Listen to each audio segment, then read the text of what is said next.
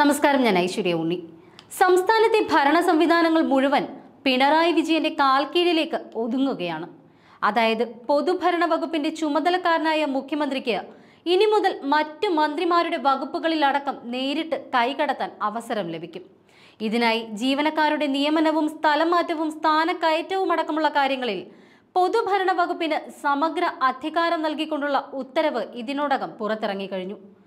ഫലത്തിൽ മന്ത്രിസഭയിലെ മറ്റു മന്ത്രിമാരുടെ വകുപ്പുകൾ മുഖ്യമന്ത്രിക്ക് നേരിട്ട് ഭരിക്കാവുന്ന അവസ്ഥ എന്ന് സാരം. ജീവനക്കാരുടെ നിയമനവും സ്ഥലം മാറ്റവും സ്ഥാനക്കയറ്റവും ഉൾപ്പെടെ വർഷങ്ങളായി വകുപ്പ് മേധാവികളുടെ ചുമതലയിൽ ഉണ്ടായിരുന്ന അധികാരങ്ങളാണ്. ഇവയെല്ലാം സെക്രട്ടേറിയറ്റിലെ അഡ്മിനിസ്ട്രേറ്റീവ് ഓഫീസർമാർക്ക് കൈമാറിക്കൊണ്ടാണ് സർക്കാർ ഉത്തരവിറക്കിയിരിക്കുന്നത്. അഡ്മിനിസ്ട്രേറ്റീവ് ഓഫീസർമാരുടെ പൂർണ നിയന്ത്രണം മുഖ്യമന്ത്രിയുടെ കീഴിലുള്ള പൊതുഭരണ വകുപ്പിനാണ്. ഇതോടെ ഈ വകുപ്പുകളിലെല്ലാം ഇനി മുതൽ പിണറായി നേരിട്ട് കൈകടത്തും. പൊതുഭരണ വകുപ്പിന് ഇതോടെ ഘടകകക്ഷി മന്ത്രിമാരുടെ വകുപ്പുകളിൽ ഉൾപ്പെടെ നിയന്ത്രണം ലഭിക്കും. മറ്റ് മന്ത്രിമാരുടെ വകുപ്പുകളിൽ മുഖ്യമന്ത്രി കൈകടത്തുന്നതിൽ അതൃപ്തി പുകയുകയാണിപ്പോൾ. ഇതിനെതിരെ സി പി ഐയുടെ സർവീസ് സംഘടനയായ ജോയിന്റ് കൗൺസിലും രംഗത്തെത്തി. എന്നാൽ എല്ലാ അധികാരങ്ങളും പൊതുഭരണ വകുപ്പിൽ കേന്ദ്രീകരിക്കേണ്ട ആവശ്യമില്ല എന്നാണ് ഇവരുടെ പക്ഷം. അഡ്മിനിസ്ട്രേറ്റീവ് ഓഫീസർമാർക്ക് ഇത്രയേറെ അധികാരങ്ങൾ നൽകുന്നത് പൊതുഭരണ അഡീഷണൽ ചീഫ് സെക്രട്ടറി കൺവീനറായ സമിതിയുടെ റിപ്പോർട്ടിന്റെ അടിസ്ഥാനത്തിലാണ്. സർക്കാർ വകുപ്പുകളിലും സ്ഥാപനങ്ങളിലും നിയമിച്ച പൊതുഭരണ സെക്രട്ടേറിയറ്റിലെ ഉദ്യോഗസ്ഥർ ഉൾപ്പെടെയുള്ള അഡ്മിനിസ്ട്രേറ്റീവ് കോടതി ഓഫീസർമാർ സീനിയർ അഡ്മിനിസ്ട്രേറ്റീവ് ഓഫീസർമാർ സ്പെഷ്യൽ ഓഫീസർമാർ എന്നിവർക്കാണ് കൂടുതൽ അധികാരമുള്ളത്. പൊതുഭരണ അഡീഷണൽ ചീഫ് സെക്രട്ടറി വി. വേണുവിന്റെ ഉത്തരവ് പ്രകാരം അഡ്മിനിസ്ട്രേറ്റീവ് ഓഫീസർമാർക്ക് നൽകിയിട്ടുള്ള ചുമതലകൾ വിശാലമാണ്. അത് ഇങ്ങനെയാണ്.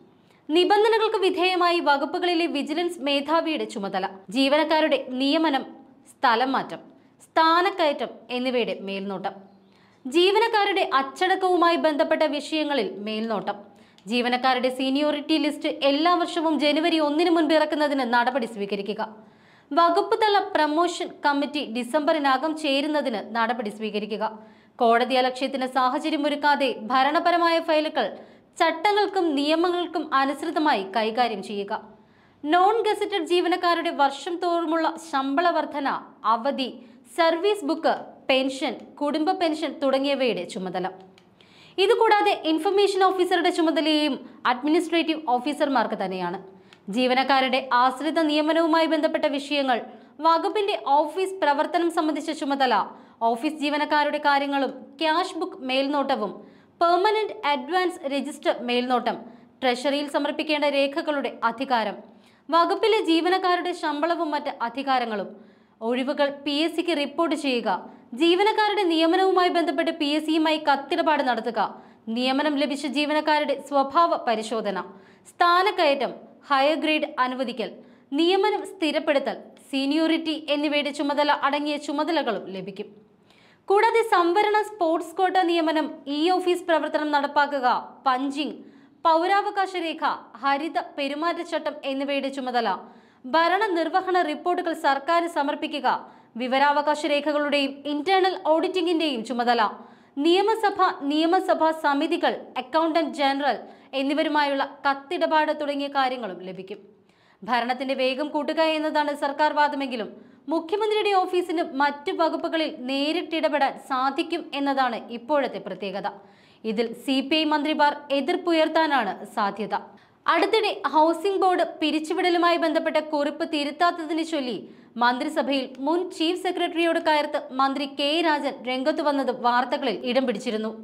ഇടതുമുന്നണിക്കും മന്ത്രിസഭയ്ക്കും മുകളിലല്ല ഉദ്യോഗസ്ഥർ എന്നും മന്ത്രിമാരുടെ നിർദ്ദേശങ്ങൾ നടപ്പാക്കാൻ ഉദ്യോഗസ്ഥർ ബാധ്യസ്ഥരാണ് എന്നും മന്ത്രി രാജൻ അന്ന് തുറന്നടിച്ചു. ഭൂമിയുടെ തരം മാറ്റലുമായി ബന്ധപ്പെട്ട് റവന്യൂ വകുപ്പിന് ലഭിച്ച പണം വകമാറ്റാനുള്ള നിർദ്ദേശം മുന്നോട്ട് വെച്ച ചീഫ് സെക്രട്ടറിയുടെ നടപടിയെ ചോദ്യം ചെയ്തുകൊണ്ടാണ് മന്ത്രി അന്ന് പ്രകോപിതനായത്. ഒരു ഘട്ടത്തിൽ മന്ത്രിയെ വിലക്കാൻ മുഖ്യമന്ത്രി പിണറായി വിജയൻ ഇടപെട്ടുവെങ്കിലും വഴങ്ങാത്ത അവസ്ഥയാണ് ഉണ്ടായത്. ഭൂമിയുടെ തരംമാറ്റവുമായി ബന്ധപ്പെട്ട് ഫീസിനത്തിൽ റവന്യൂ വകുപ്പ് എണ്ണൂറ് കോടിയിലധികം രൂപ അടുത്തിടെ സമാഹരിച്ചിരുന്നു. തരംമാറ്റം പൂർത്തിയാകാത്തതിനാൽ ഫീസ് ഇനത്തിൽ കൂടുതൽ പണം കിട്ടാനുമുണ്ട്. ഈ തുക തദ്ദേശ സ്ഥാപനങ്ങളുടെ പദ്ധതി വിഹിതത്തിലേക്ക് വകമാറ്റാമെന്ന നിർദ്ദേശമാണ് ബജറ്റ് സംബന്ധിച്ച് മന്ത്രിസഭയിൽ നടന്ന പ്രാഥമിക ചർച്ചയ്ക്കിടെ chief secretary V P Joy മുന്നോട്ട് വെച്ചത്. ഇത് അംഗീകരിക്കാൻ മന്ത്രി കെ രാജൻ തയ്യാറായതുമില്ല.